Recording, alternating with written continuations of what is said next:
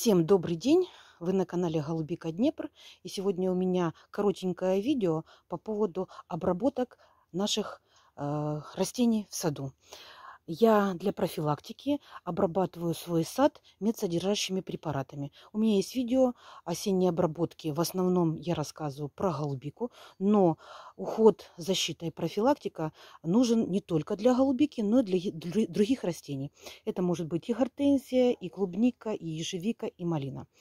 Поэтому все садоводы-любители, я в том числе, обрабатывают для профилактически э, такими контактными фунгицидами, э, медсодержащими, как бордоская смесь, смесь железный купорос, медный купорос.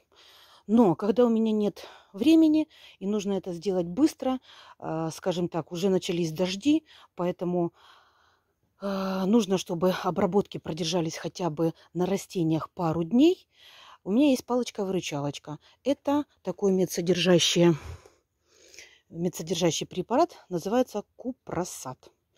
Это фунгицид контактного действия суспензия. Если бордовскую смесь мы с вами разводим, там нужно обязательно соблюдать пропорции, а, отдельно разводить. Буду я делать видео, как это а, разводить бордовскую смесь. То есть там нужно выдержать определенные пропорции, там нужно обязательно медный купорос вливать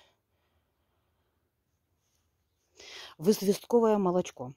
Поэтому э, на это нужно время, нужно это сделать все правильно, в пластиковой таре. В общем, об этом мы сейчас с вами поговорим.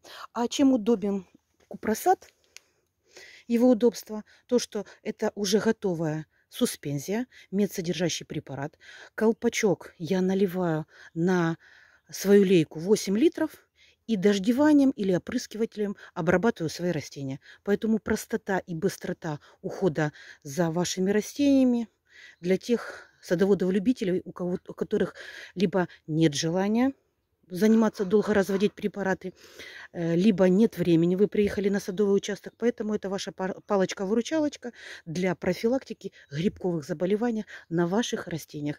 Применяется еще, хочу напомнить, что все медсодержащие препараты в основном применяются это осенью и весной. Дважды обычно я прохожу по своим растениям по листу, делаю обработку, для того, чтобы опавшие листья не стали источником заражения на следующий год. И вторую обработку я делаю, когда лист опал, чтобы обработать уже приствольный круг и стволы своих растений.